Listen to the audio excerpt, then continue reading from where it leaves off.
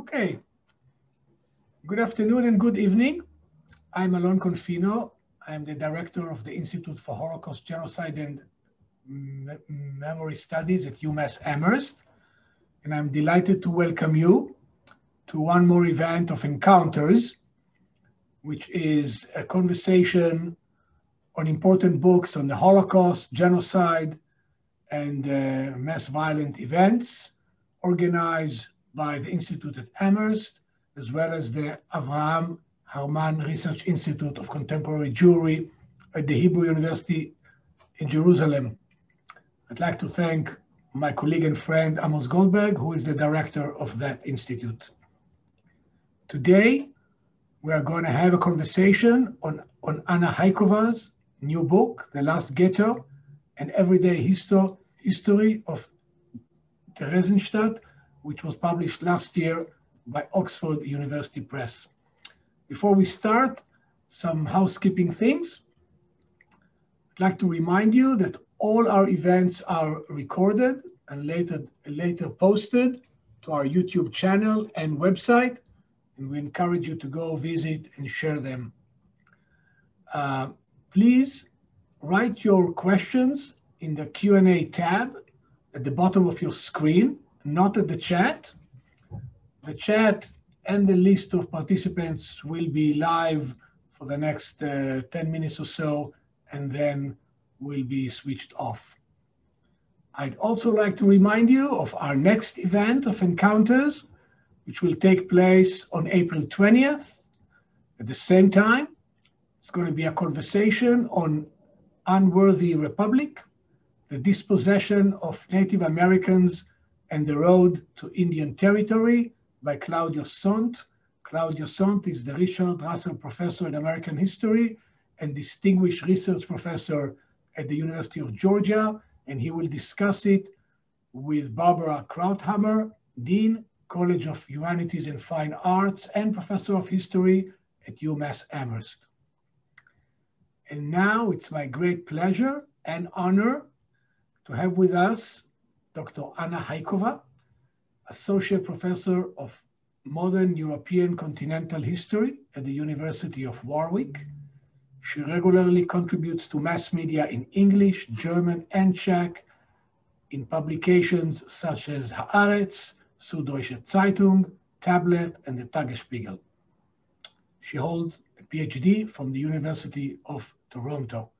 Her dissertation, on which The Last Ghetto is based, was, was awarded both the Herbert Steiner as well as the Irma Rosenberg Prizes in 2014. Amos Goldberg is the Jonah Machover Chair in Holocaust Studies at the Department of Jewish History and Contemporary Jewry and the head of the Research Institute of Contemporary Jewry at the Hebrew University of Jerusalem. His book on critical thoughts on Holocaust historiography and remembrance is forthcoming shortly in Hebrew by Resling Publications in a few months. Goldberg was 2018-2019 J.B. and Maurice C. Shapiro Senior Scholar in Residence in the Mandel Center at the United States Holocaust Memorial Museum. Anna and Amos, it's great pleasure to have here both of you. Please, the floor is yours.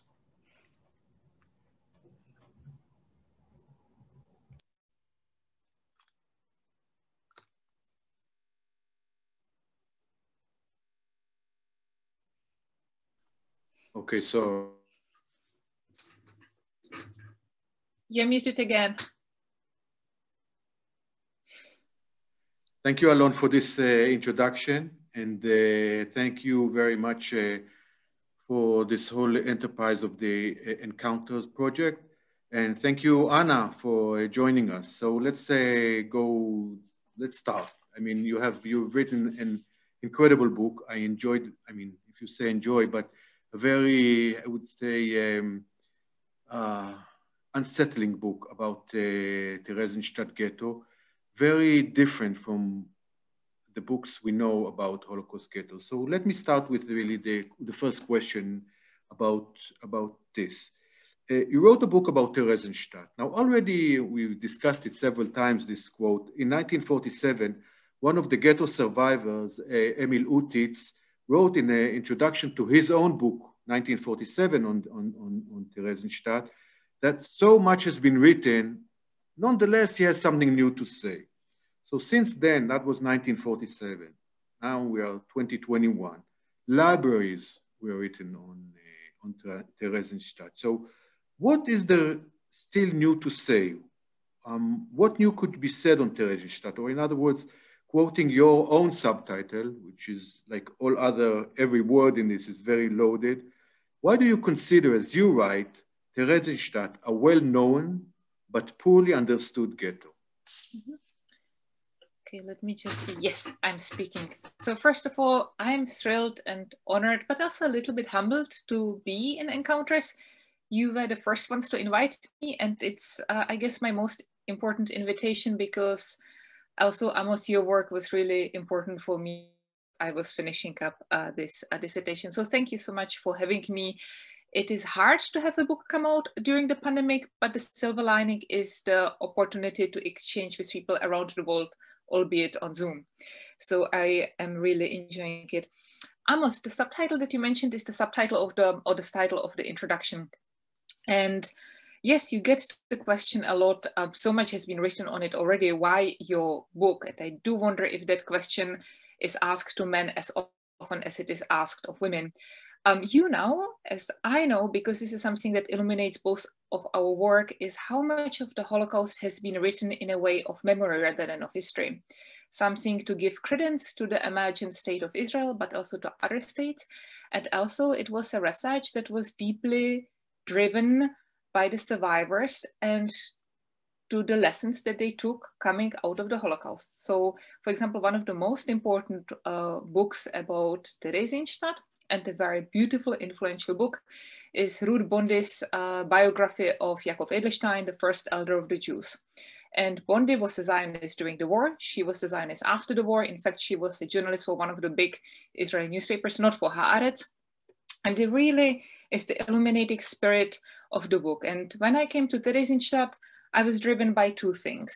One was I wanted to write a modern history of Theresienstadt that will try to get away from these various expectations and look at it as a case study and study Theresienstadt per se to go beyond the established famous narratives and to look at all possible testimonies that are there the early and the late, those written by young people, those written by elderly, those written by uh, middle-aged people, not only the children and not only the children's drawings, bring them all together and to ask what it means, to kind of go beyond the canon and look at the many layers of what it meant to be in Theresienstadt, not to have one truth, but I guess to quote from our conversation of the last few days, couple of truths and to put them together as a palimpsest. The other thing that I um, endeavored to do is to use Theresienstadt as a case study of society in extremis.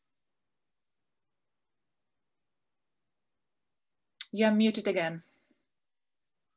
What, what, what, what do you actually mean society in, in extreme? Yeah, so um, something that people are really fascinated by when they look at the Holocaust um, is um, these are people who are going to be murdered. And eventually, some of them realize that they're going to be murdered. They are experiencing starvation, constant fear, crowded accommodation, dirt, diseases, um, violence, even though the violence, the way how it plays out depends from concentration camp to concentration camp, from ghetto to ghetto. And that's one of the things that I uh, addressed in my book.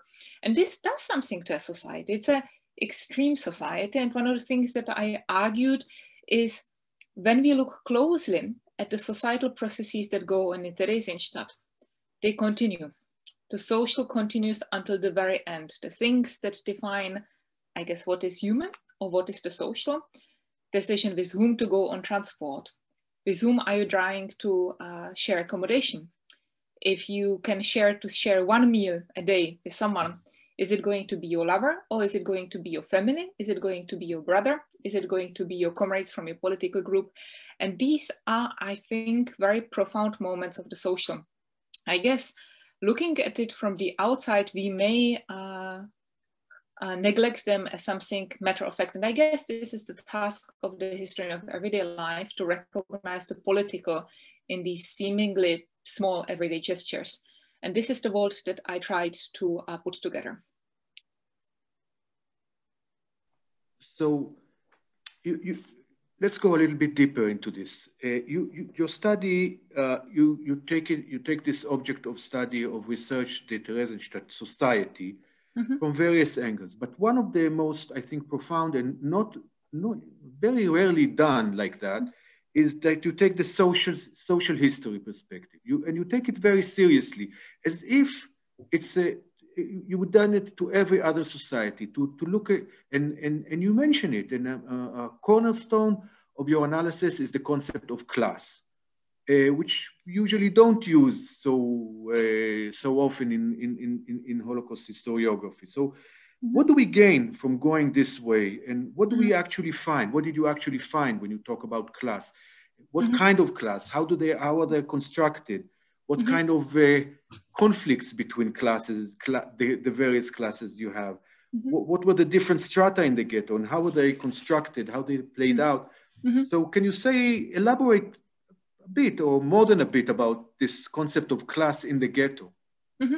Amos, it would be a pleasure. First on social history, um, I think yes, the book is social history, but it is also cultural history, and it's a history. It's an Alltagsgeschichte, this very classical German 1980s um, historical anthropology, where I look at the various things that people did back in the day, and I read it as if I were an uh, anthropologist. Only I do not sit in a village observing people, but I sit in the archive looking at the testimonies, observing them as if I were anthropologist, and always ask, what does it mean? I need to get out of our modern eyes and saying, this is what it means, but try to recognize the frameworks of meaning that it had back then.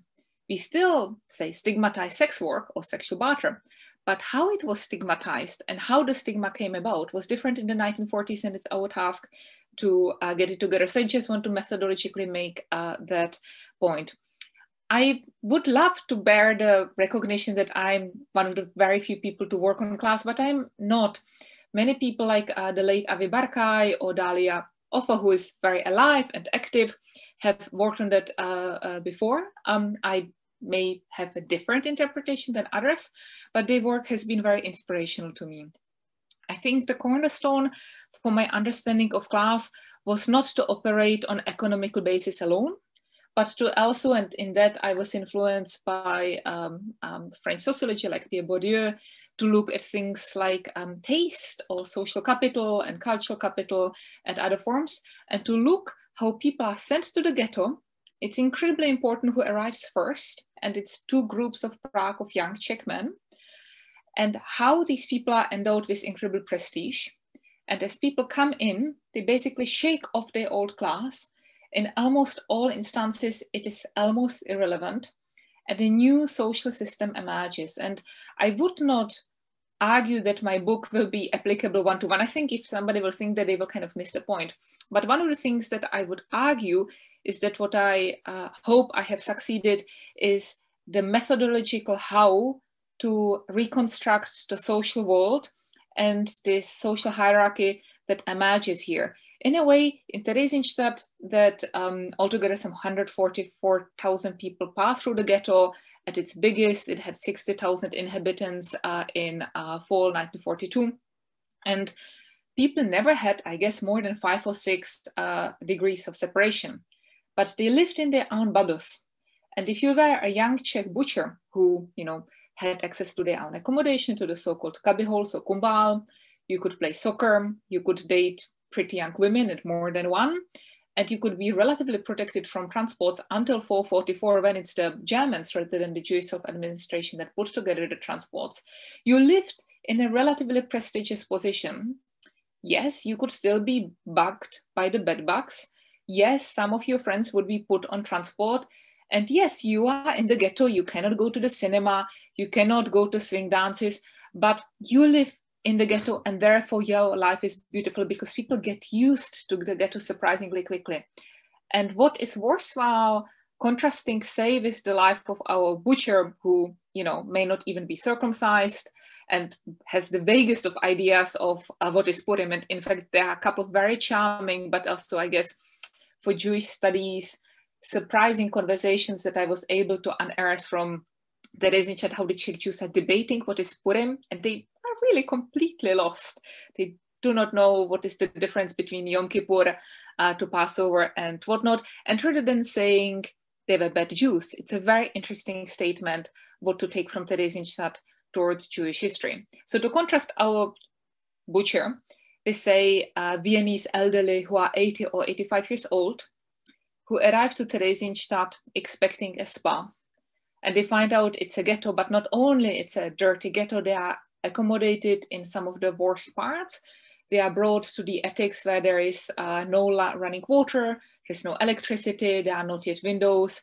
And the overwhelming majority of them dies there in their own excrement. The reason why they're brought in this bed accommodation, it is because at this point, the Theresienstadt is filling up and the Jewish self-administration, our Jakob Edelstein, whom I just mentioned from uh, Ruth Bondy, even though she does not address this uh, topic, decided this is still the part of the ghetto that is free.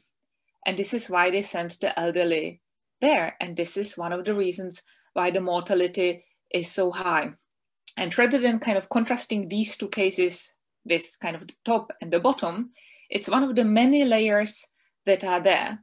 And at the same time, some of the elderly are able through a lot of social stamina and through social capital and uh, through um, also great desire and agency to make it out, to be reconnected with their children, or to simply the will to live, to make a career. And you have older German speaking Jews from Vienna and Berlin who learn Czech, who actually learn relatively decent Czech.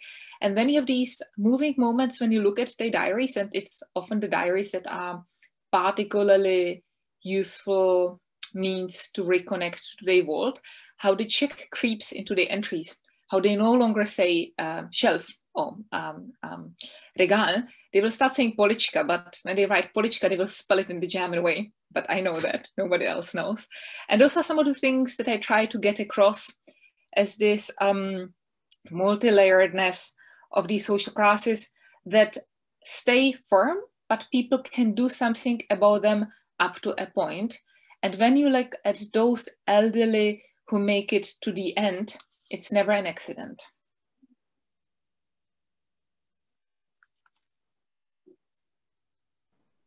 So what what what are the criteria or what are the it's ethnic it's national, it's um, your profession. What are the criteria that shapes this very stratified society? Mm -hmm. Yeah, Amos, I don't know if you know it. You look very frustrated and very impatient. Please look a little bit more friendly. You're scaring me. Yes, thank you. um, it's a I'm bunch of things. It's a bunch of things. Um, ethnicity is really important. Age is immensely important. Gender, social capital, and then seniority. And seniority is interesting here because um, as I was thinking about how to conceptualize all of the material, I realized something that is quite useful is the history of prisons. And of course, we know from history of prisons, one of the really important things for the positionality of the inmates in, in prisons is how long have they been sitting there. And something similar develops uh, in Theresienstadt. In fact, um, towards the end of the book, I tell the story of Rolf Grabower, who is one of my favorite protagonists and also someone who makes should make us uneasy, but it's really one of the most fascinating figures when we think about Holocaust in Central Europe. Grabower is a three-quarter Jew. He's a Protestant. He's a very believing Christian, and he's persecuted because he's racially Jewish, according to the Nuremberg laws. Before his dismissal from uh, his job in 1935, he worked for the Ministry of Finance in Germany. Um, he was actually one of the most high-ranking Jewish um, clerics, uh, Beamten, and he was one of the uh, grounding fathers of the Umsatzsteuer uh, in, in Germany. And um, you can also read about him in Schwerin von Krosigk's um, slightly fake and Nazi uh, memoir. And Grabower was deported to Theresienstadt in 42 and he, in the beginning, he had it pretty tough because he tried to come with his CV to be recognized as a really useful part of the Jewish self-administration. And it did not really go well with Jacob Edelstein because Edelstein was a flaming Zionist. So he did not expect a Prussian, not even middle-aged, but older guy who was baptized, who was Christian, and for whom Jewishness was at best something really, really abstract, who kept coming in and saying, I have here some updates about how to make our bureaucracy better because I'm a Beamta from a Prussian ministry. Listen to me, I know how to do it better. Now, this would not go well anywhere, and it particularly went really poorly for Grabower. But that's the point about social capital and stamina that I was trying to make uh, before. He never gives up. And we have here not diary, but something like Tagesvermerke that he kept throughout, where he writes about all the people who he meets. And he never gave up. He stopped uh, when Edelstein was deported to Auschwitz he um, went to the next Jewish leadership, and eventually he was able to make his way so that at the end he became one of the controlling judges. Um, and I think there is a PhD in uh, the law faculty that is just being written somewhere at the Humboldt University. So I find people like Grabower particularly useful ways how to think about the many walls of Theresienstadt, how you have here what you would call in German a sperriger this difficult person, but also who was connected to so many other people in Theresienstadt, to Arnold Munter, a half Jewish communist who was deported to Theresienstadt mostly because of his political resistance, to Anna Auředníčková, an important Czech poet whose husband um, uh, defended uh, Hilsner in an um, important Czech anti-Semitic trial. Um, and many other stories. And when you follow up these threads and connections between people, it also helps you get Grabower out of this corner of a kind of weird Prussian gentleman who is curious but not really interesting into a pass pro of the interconnectedness of Theresienstadt walls. And at the end of the story, and now I kind of got lost myself, but now I found my story again. A couple of weeks before liberation, uh, he went to the hairdresser uh, because his hair was overgrown, just like probably all of us now in uh, lockdown. And um, the uh, hairdresser, even though he was empty, is like, um, how long have you been here? And Grabower is trying his tricks on him and say something like six months. And then Grabower, the hairdresser is like, go away. I only cut hair to people who really deserve to be here. And then Grabower is like, actually, I was here 36 months. And the hairdresser is like, oh, you came just three months after me. We are here almost as long as the ghetto is. And so he cuts his hair. And it's the moment when rather than being German and therefore a foreigner who does not belong, the coinage is his seniority in the ghetto. And at the end, you see how, Tere, how Grabower made his peace in Theresienstadt. It is able to talk the talk and walk the walk, if you want. Can can you say, before we move to the next topic, a little bit about the tensions and the, also the demography of the between the Germans and the the German or, and the, the Altreich and the and and, and the Czech uh, and, and the Czech Jews. I mean, we all many of us have in mind Leo Baeck, and it's over dominated by German, but it's not actually like that. So, can you tell us what what how was the population, uh, the demography of the population, and the tensions between the two major groups? Yeah. Um, well, maybe I will start a little bit on Leo Baeck and then talk about the foreigners and the locals. So there are many stories about Leo Baeck and I looked into it quite a bit uh, because I found it fairly quickly that the stories about Leo Baeck are largely Elmi legend and hagiography. And I offer my reading of um, a close reading of sources of what we can find out about Leo Baeck. I found out that he was a very skilled functionary, somebody who was a very skilled politically to kind of operate in the muddy waters of Jewish functionaries. He was also somebody who could be very quick in cutting people loose if he felt that it was politically uh, quicker. And if you want to know more, read the first chapter uh, of the book. Um, I think I have there six or seven pages uh, on Baeck. I don't want to give away too much because um, I guess it will be uh, surprising and new to uh, many of the audience today. Um, what was so interesting about Theresienstadt in my thinking is its profound transnational character. After all, it was not only almost all Czech Jews who were deported here, but also people from Altreich, people from Austria, from the Netherlands, Denmark, Slovakia, Hungary, and at the very end of the war, also lots of people from occupied Eastern Europe, including uh, Gentiles. And on one hand, Theresienstadt developed a common identity, a common mass narrative, or what does it mean to be there. This was not necessarily Jewish. It was something about what is the meaning and what is the sense of being in Theresienstadt. And it was, I guess, a kind of classic continuation of the Central European um, assimilation uh, Jewish narrative about decency that people like Marion Kaplan or Markus Picker have uh, so movingly interpreted. So you still have kind of this talking about here, uh, we used to be lawyers and we never did any manual labor and now we are in Theresienstadt look, we can do so well and we can take care of our youngest and we can do such a beautiful cultural presence.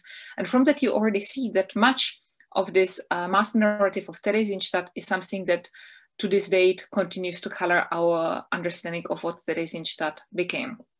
So yes, you have a certain commonality here, but on the other hand, there was a strong differentiation between the Czech Jews as the locals and everybody who came from abroad, abroad being from outside from the protectorate.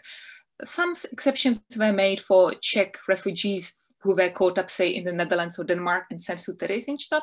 But the differentiation is not alongside language, because many of the Jews from the protectorate spoke German as their native language, but from the place where they were deported from, and also uh, from the accent. So if you speak German with Prague or Brno accent, you are recognized or categorized as a Czech Jew and hence a local.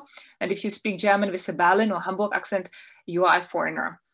And uh, what I saw over and over that largely the Czech Jews did not differentiate so much between the Germans and the Viennese and the Dutch and whatnot, but there was a binary thinking between the locals and the foreigners. And the Czech Jews are such a dominant group that this binary vision between the locals and the foreigners eventually something that is um, influential for pretty much everyone. Wow. Okay, now let's move to gender.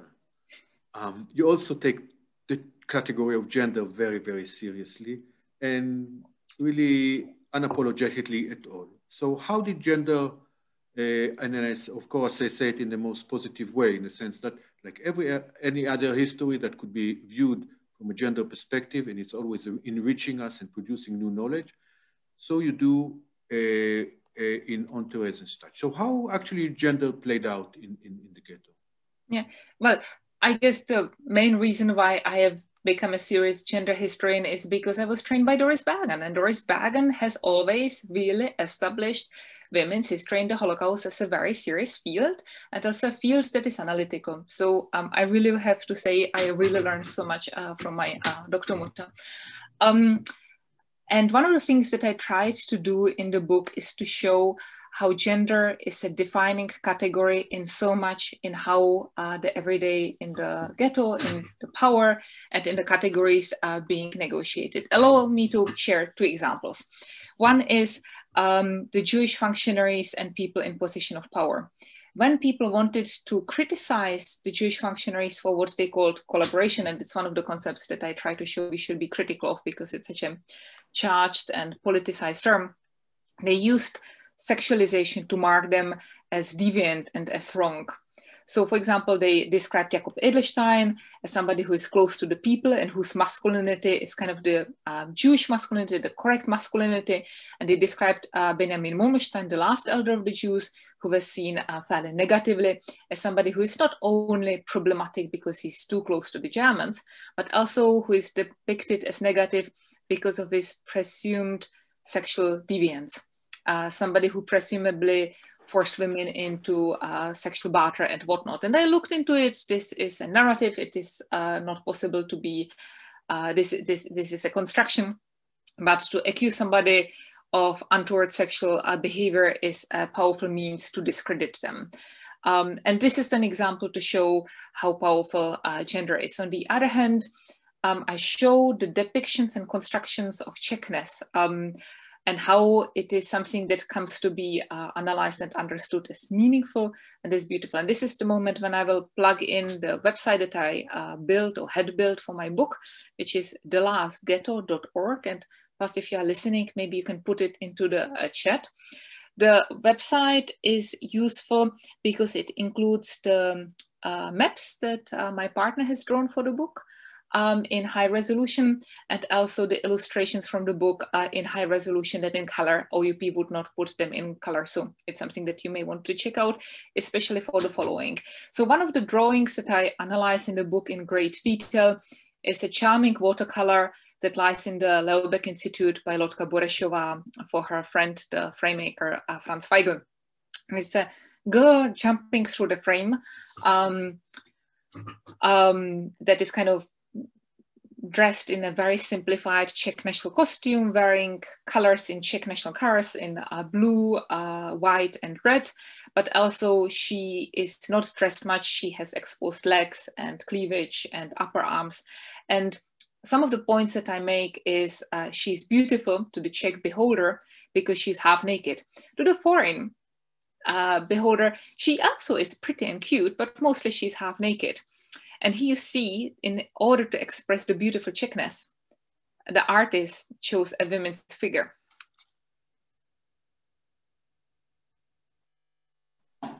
Okay, I'm so.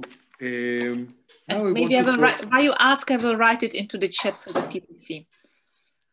Okay, well, uh, so uh, you, you also mentioned it now, and uh, throughout the book you talk I'm okay. Throughout the book, you talk about what you call the master narrative of the of the ghetto, uh, and that the prisoners developed all, in order to explain to them, as you said, to explain to themselves the extreme and uh, disorienting uh, reality in which they were thrown. Now, in, in, in many places, uh, you seem to be critical of this, uh, of this. I don't know if morally, ethically critical, or empirically, empirically critical uh, of this Theresienstadt mass narrative, um, which you also sometimes call it redemptive at, at certain points. Um, so can you explain that? Can you, and, and, I think it ties up to the, the first question of what do you do new in this. Uh, so what, what, what is this master narrative? How it developed? Who were its uh, agents? Who developed it? Who uh, uh, during the war and perhaps after the war? And what, why do you call it redemptive and what's your take on it? Well, what, what, how do you understand it and how do you try to say, to tell the story uh, a little bit different? Yeah, well, Amos and Alon, you are my hosts, and you are one of the foremost Israeli historians who have looked at the Zionist narrative of the Shoah and have really crumbled it into pieces. So you are not the right person to ask me what is a mass narrative and why we need to deconstruct it. Mass narratives here are to serve legitimization and a purpose. And it's the job of the historian to find out that these are master narratives, to locate how these narratives work, and to show how they came about. Um, you kind of come to see the mass narrative because you read the testimonies by people in Theresienstadt and you see this kind of meaning of Theresienstadt come over and over and over again. It comes up already in Theresienstadt. It comes out in the key works published in Theresienstadt, be it the Iltis uh, book from 1968 that many of you will have at home, or uh, at uh, Ruth Bondy, or if you look at the famous uh, book of children's drawings, um, I've never seen another butterfly. This kind of uh, I guess this person who writes keeps writing to the chat keeps bubbling up and it's a little bit um, uh, uh, um, um, confusing. So maybe people could not use the chat and just write into Q&A because it kind of blows up all over my uh, screen and I need to focus on Amos's questions. So the master narrative is something that kind of serves to all of the people in Theresienstadt to be, uh, to feel uh, members of the community and to endow the experience uh, with sense. Um, it also serves I guess, uh, to glaze over to some of the things that are happening in Theresienstadt, in which uh, the uh, prisoner community and the Jewish self-administration are engaging, uh, be it deliberately or undeliberately, to make ends meet and to glaze them over the story because they are not feel-good stories. The master narrative serves to make the prisoners of Theresienstadt and everybody afterwards that something good came out, out of something bad. But this is not how history works. History does not have a sense and does not have a meaning, and definitely nothing good came out of the Holocaust because it's a genocide.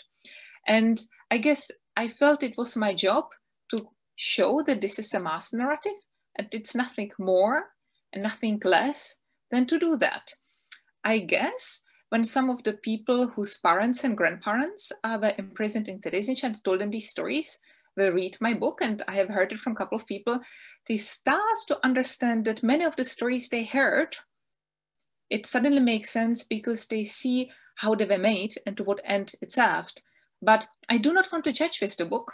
I want to help to understand how people live and die. Um, okay, so now let's go into one of the most sensitive issues uh, about Theresienstadt. Let's talk about the Jewish leadership uh, in the ghetto, and particularly about uh, Benjamin Benjamin Murmelstein, who was depicted uh, in Lanzmann's film, The Last of the Unjust, as someone who should be located deep in the gray zone. What do you think of him? What do you think of the leadership as a whole, and particularly about uh, Murmelstein? My sense, and you said it's not the right sense, but I still say the, my, my sense was that um, you, you, uh, uh, you, you do not shy away of criticizing this society, but somehow you are more under, empathic, I would say, to the, to the leadership. Uh, or perhaps not, perhaps I'm wrong about that. But uh, so what is your take on really on, on this leadership, which was, we all understand, between uh, in, in an impossible uh, in an impossible position.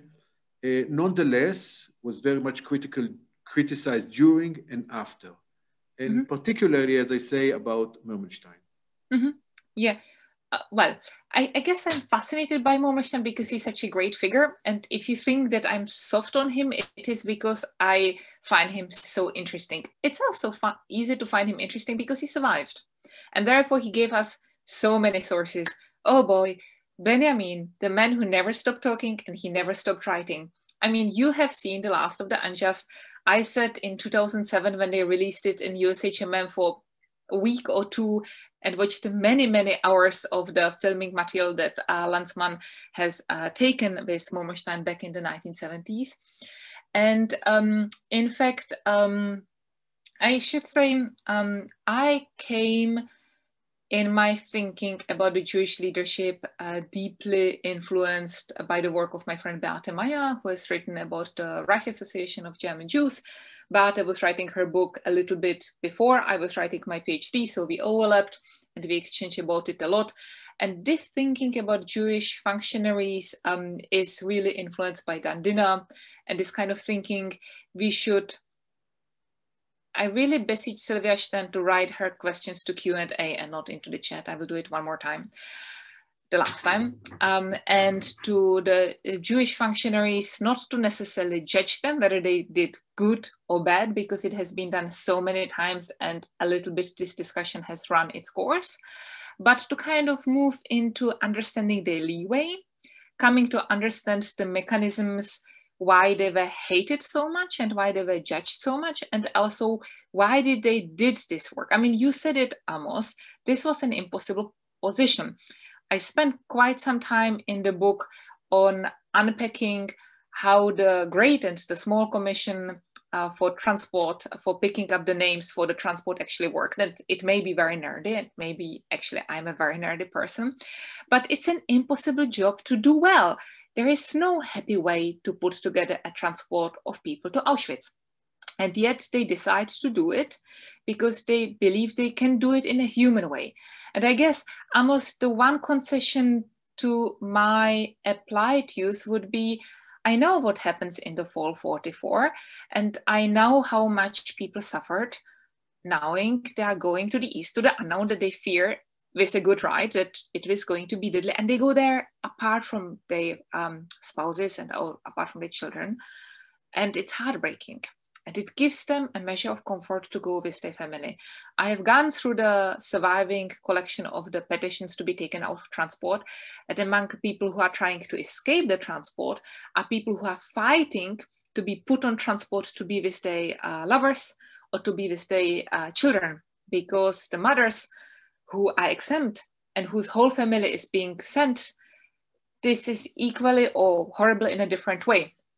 So it was the Jewish function, um, Jewish uh, self administration that decided that as long as they are in charge, they will uh, respect unity of families and they will send nuclear families uh, together. And this is something that is in practice until October 44, when it's the SS that starts putting together the transport lists. Um, and those are some of the questions that I hope to illuminate in the book. I'm sure you have some more questions, but that's my first step at an answer. We are, we are really running short of time and there's a flood of Q&A, but I, there's one more question I have to ask. I mean, I'll drop the half of my questions, but yes, there's one, but there's one I want to ask. We have a very fascinating chapter about the food in the ghetto. So, uh, so beside the fact that food as an object of research is also, I mean, everybody talks about food and starvation, but you made it a whole chapter about food, the social, the social, social impact of food, it's a cultural, uh, but you also reach, you actually portray a society that did not want to distribute the food, did not want, you I mean, or was not willing or to to put effort in distributing the food resources in egalitarian way and almost, I, I dare say, deliberately decided to starve the elderly population, some of them to death. I mean, a large percentage of them. So can you elaborate about this a little bit? Mm -hmm. I can.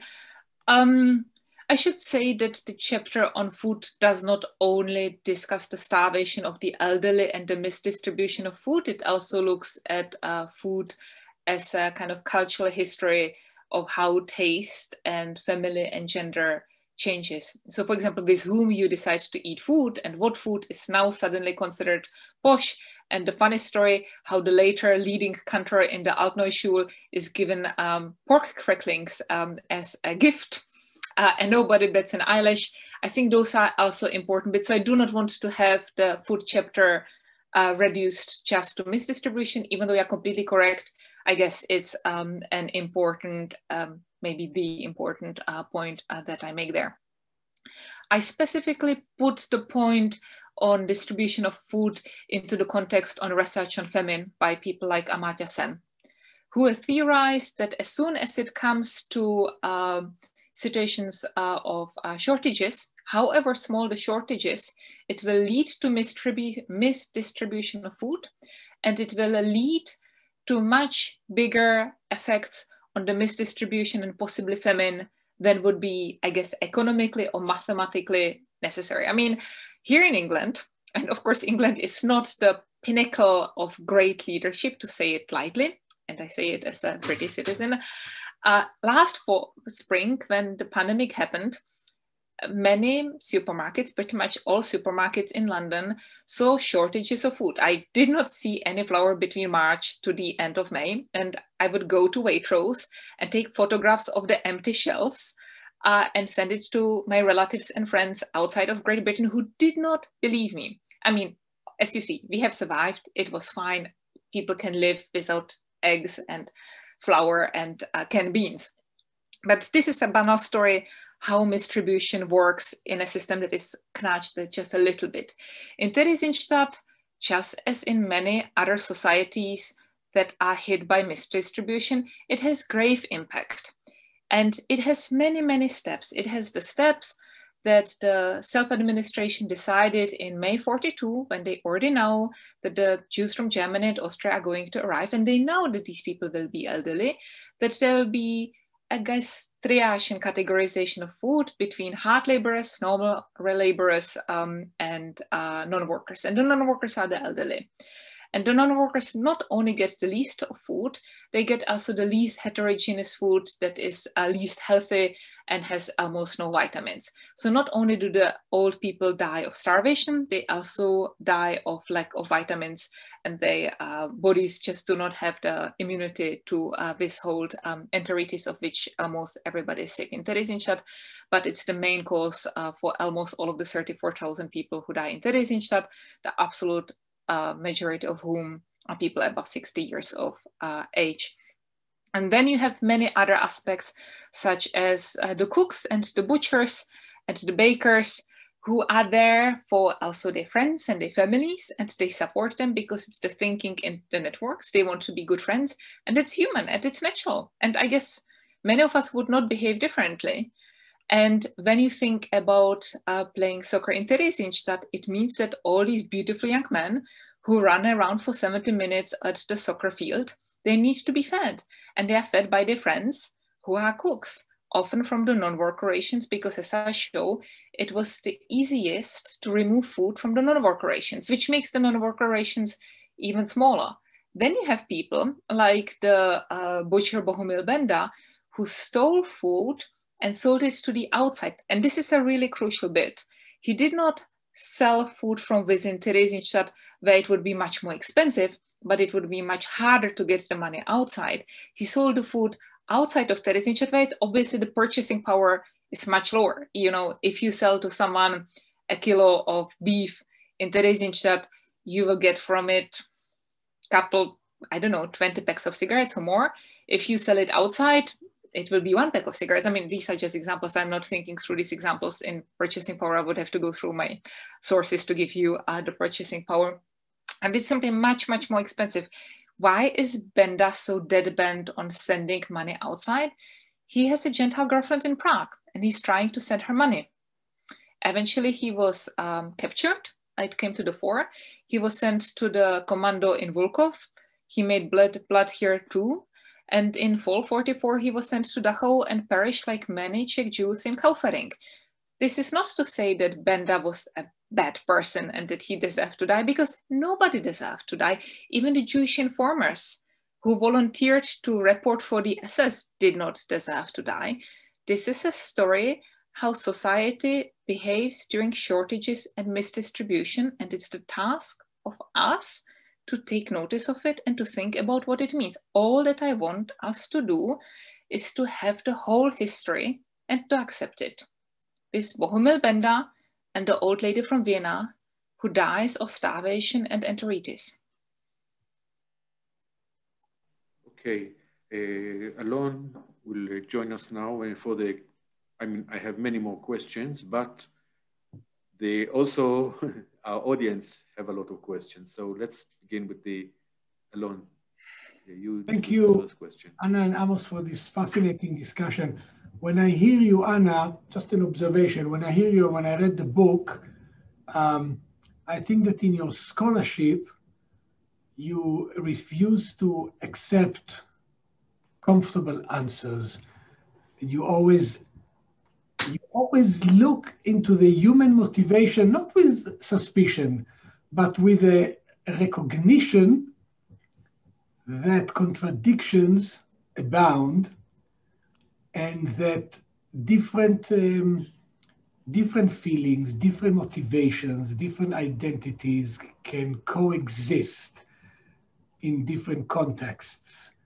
And, and it lead it leads you this this this uh, way of thinking, this questioning of the sources, leads you to um, insightful um, findings. That's that's my sense. So we have a question about the sources. Which sources did you use? Did you use old sources and ask them uh, new questions, or did you use new sources, or both? But how how did the sources made the work for you in writing a new a new a new account of Theresienstadt? Yeah. Well, thank you, Alan, for such a profound remark. I guess this is exactly what I tried to do, not to settle down with comfortable answers. I always felt there's this proverb how history is like the ocean from afar it's majestic and when you're in the middle of it you just want to throw up um, uh, the sources i used i looked at all i felt when you look at Bondy and when you look at Lagus and uh, Polak and when you look at adler and when you look at um, all these various works, they work with a fraction of sources which also was due to the time and place in which they wrote their books. And thanks to very generous funding from various funding bodies, I was able to spend two years traveling around the world in the very beginning of the PhD. I sat down with a friend who is actually a famous historian of perpetrators, Andrej Angrick, and kind of hatched the plan of what is it that I'm trying to do here. And I made um, systematic list of all archives where there are relevant materials about Theresienstadt. I mean, this list grew over time, but there is no central archive for materials for Theresienstadt. So I went to the Wiener Library here in London. I went to Yad Vashem and to Givat Chaim Ichud to Beit Terezin. I went to the Jewish Museum Prague, to the National Archive, to the Terezin Memorial. Um, I went to the uh, Landesarchiv Berlin to look at the Opfer files. Um, I was at the USHMM um, and I was at a number of other archives and I looked at materials in four languages that I speak fluently, Czech, German, Dutch, and English. And um, I looked at all histories, I looked at diaries, um, I looked at the um, uh, post-war trials, which were also important for the understanding of the interactions between the Germans, um, of the SS, because many of them were actually Austrian, uh, and of the Jews. I looked at the people who did not understand themselves as Jewish. I looked at the testimonies of the Protestant and Catholic community in Theresienstadt, and I looked at the rabbis, at the Reform and at the Orthodox. I looked at the people who participated in the communist resistance, and I looked at the people who claimed after the war that they participated in resistance, and I simply read through it all. And what I wanted to do, and I'm a big believer in the inductive method. So I just kind of first read it through all of it and took notes. And somewhere in the middle, I sat down and it was okay, now I will look through this mass and look for the patterns and the topics that repeat. And that gave birth to the six chapters that the book is structured in organization, ethnicity, food and hunger, medicine, um, culture, and transports to the East. And then with each of them, I then sat down, sourced out the testimonies, looked at my notes, and decided based on my notes, what is the narrative of each of the chapters? Thank you, uh, Anna. There is a question is from, from someone who read the book and is admirer of the book. He asks, you wrote in your book that we cannot affirm that there was a spiritual or cultural resistance in Theresienstadt. So can we instead say that in some cases there was a resilience, if not resistance? Or, or, or how would you how would you approach this issue of resistance, spiritual, cultural, or other?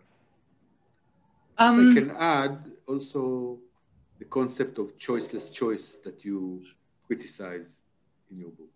Yes, yeah. we have also a question about this. Let's let's just add it the, the leadership talked about choiceless choice, especially after the war, whether it was a narrative of the leadership in order to explain to itself and to the world its deeds, while actually there were choices. These choices were not choiceless. Let me just add that we are going to end our conversation at 1.15.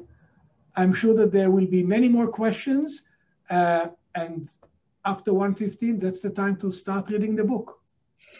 Let, let me add that we mean 9.15 in Israel. And 7.15 zone. So um, I will try to answer quickly so that there is time for more questions. To my admirer, I hope you are not mad with me when I will gently say that I find resilience a potentially another redemptive term and we should stop expecting Holocaust victims to be nice, great, because they try to survive. We all try to survive. That's normal. That's human. That's not something that we should praise because when we start looking in the Holocaust as something that we are going to, um, you know,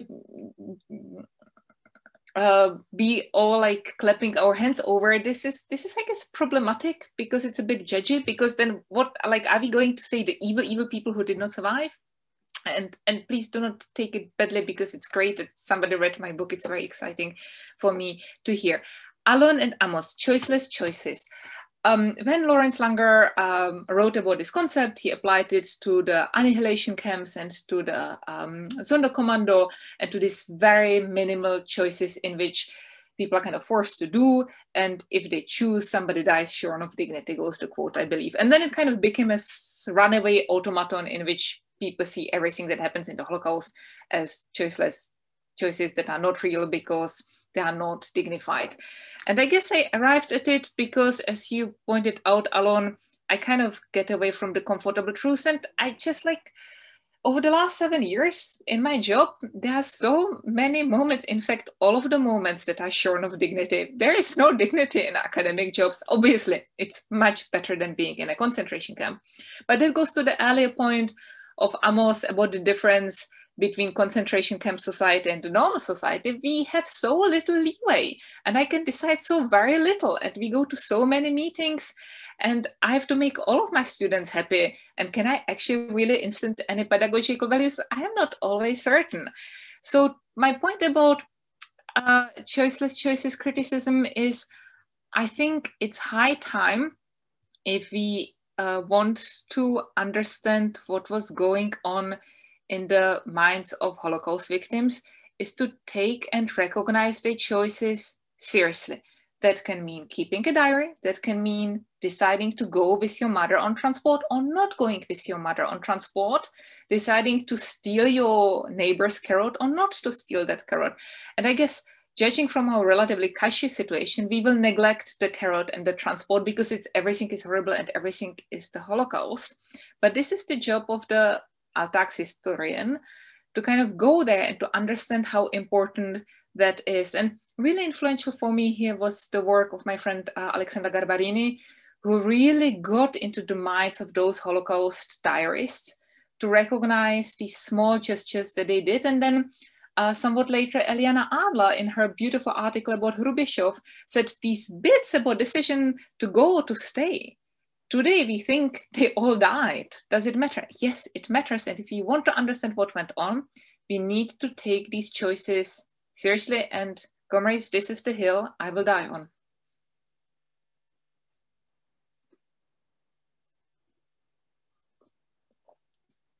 Amos, you're muted.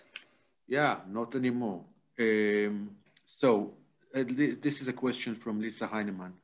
Uh, in the context of the Czech-German hierarchy or chronology, I'm interested to know about those stories that some Germans came expecting a spa. What's the evidence for this? Do you know this from German inmate testimonies? If from Czech inmate sources, to what extent should we consider it hyperbole or a way of ridiculing the foreigners. Then she, I think it's still the same question. Um, okay, so that's enough for for now. Yeah. Okay, Lisa, thank you. Okay, I speak here from memory, um, and but I believe that you have some testimonies of people from Germany who go there expecting a spy. You definitely have a fair bit of discourse about Czechs as the place of um, spa countries. Um, there is also this documentary movie about an old lady from Vienna who survived the deportation to Theresienstadt. And I think somebody recorded with her after the war an early um, like um, uh, disc testimony. And it's called Theresienstadt sieht aus wie ein Kurort. Kurort with the sea. I'm sure, Lisa, you know all this and I'm already mansplaining. I would not say this 100% that the spa metaphor definitely comes from Germans, but I have a strong feeling I saw it. That's what I will say.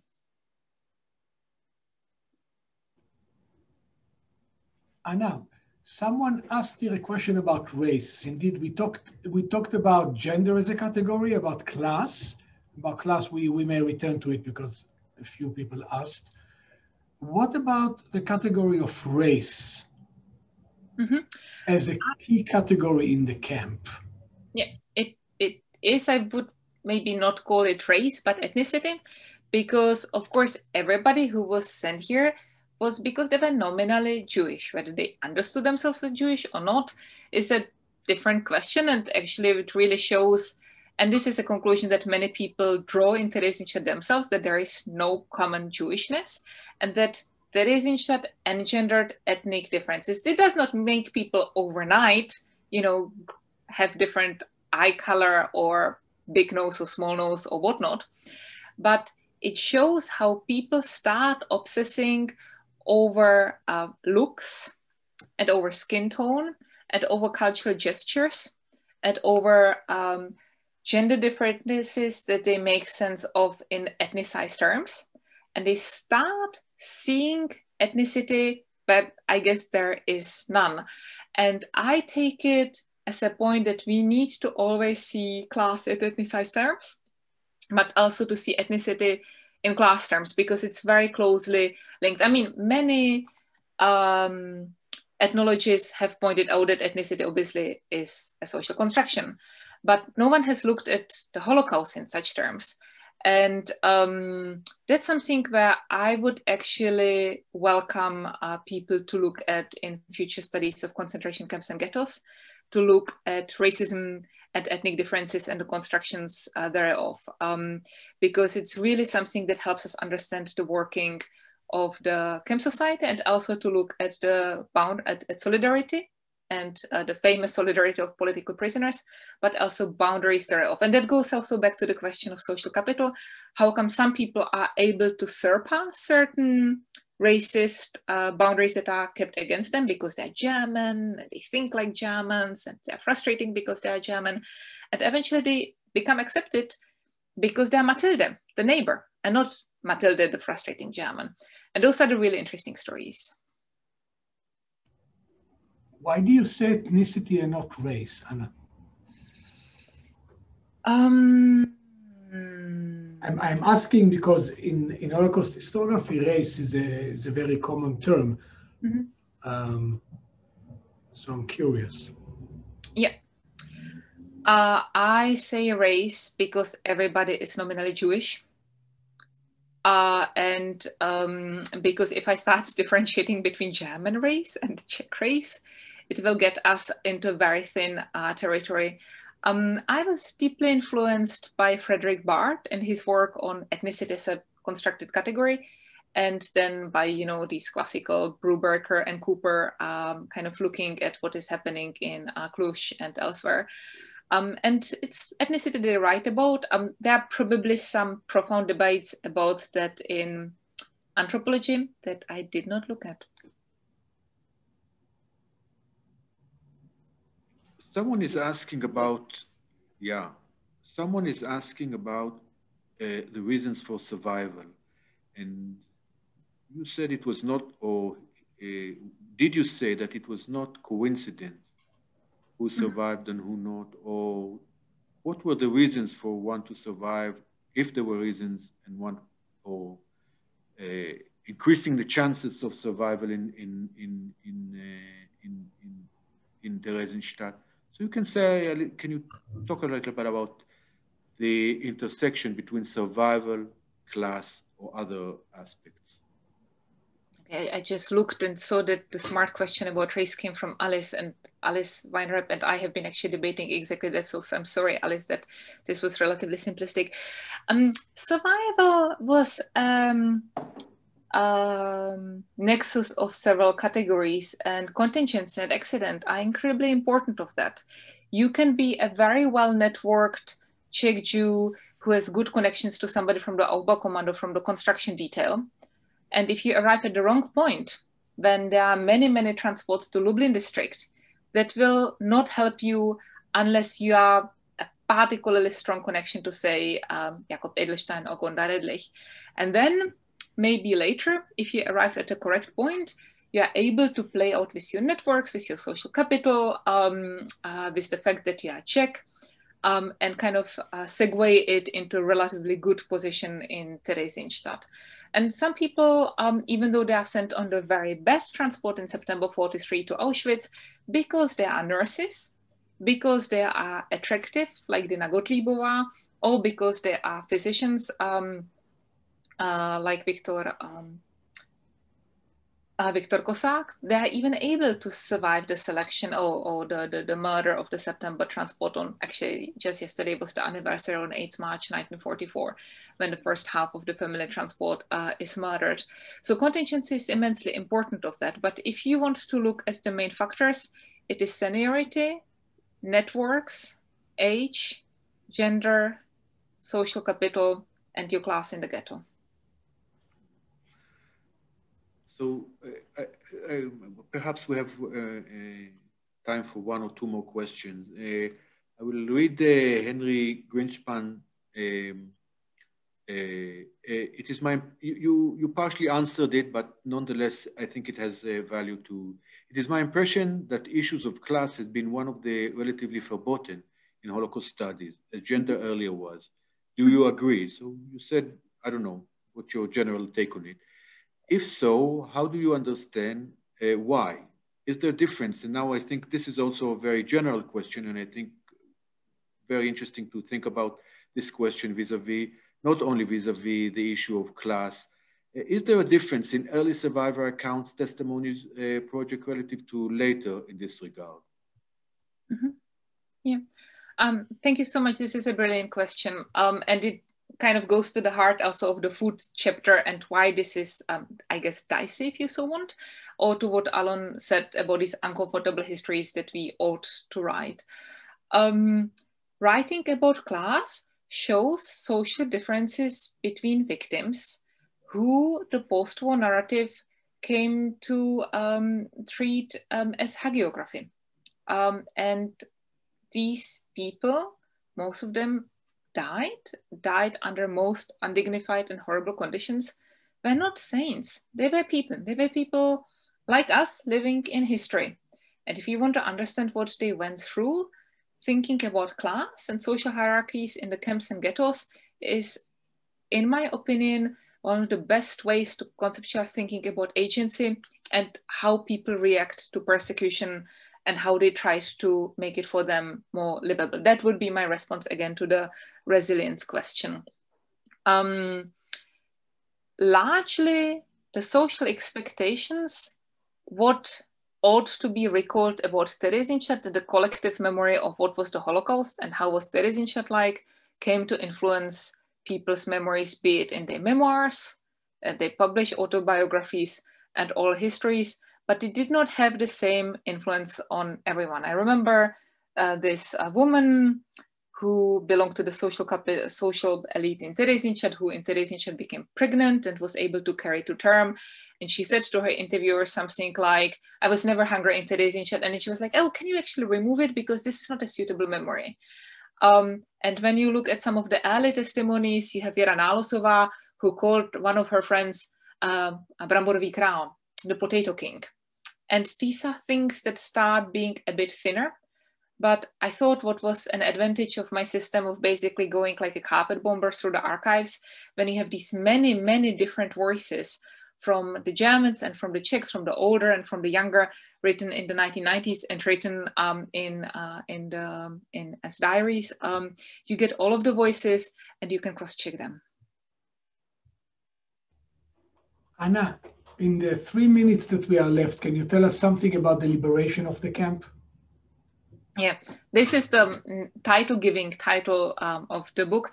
Um, many Israelis believe that Lodz was the last ghetto. Lodz was not the last ghetto, the last ghetto to be liberated, and that stood until the liberation with some 15,000 of the veteran prisoners was Theresienstadt that was actually liberated one day after the capitulation of the German army on the 9th of uh, May 1945. It was liberated by the First Ukrainian Front, and some two, three weeks before the liberation, the Germans started sending uh, death marches from all across Germany, especially from Bergen-Belsen and elsewhere uh, to be sent here. It's not quite clear what they actually planned to do with the people from the evacuation transports, whether they planned to kill them here or whether they had similar plans to Mauthausen, where historians have shown that actually there were plans for gas chambers uh, in Mauthausen. But um, in the last days of Theresienstadt, the International Red Cross was able to negotiate taking over Theresienstadt under uh, their jurisdiction so that the prisoners knew since the early May days that actually they are going to make it alive. In fact, some of the prisoners who were Czech, um, especially people with uh, Gentile relatives, escaped and went on their own to Prague or where else. So the Gentile relatives came and uh, picked them up. But also what happened is that the people from the death marches were often infected with a lot of diseases, including, and now I'm blanking out whether it's typhoid or typhus, forgive me, I'm a bit tired, I taught three hours today, and infected a lot of people. And so that some of the veteran prisoners actually died.